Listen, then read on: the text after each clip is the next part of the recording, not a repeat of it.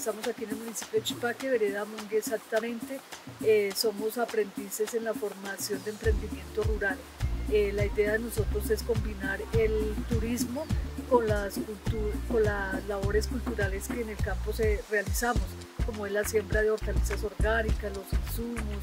Aquí agroecológicos eh, pueden venir familias, eh, grupos de amigos, también vienen la parte de universidades, de colegios que desean conocer un poco más de nuestros procesos de agricultura ecológica, que desean tener contacto con la naturaleza o simplemente venir a compartir un rico almuerzo. Para definir esta alianza tan importante entre Chiminí y Guagua, agroecológicos y el SENA, esta información a partir de los residuos orgánicos que utilizamos, que son los que nos potencian la agricultura que manejamos.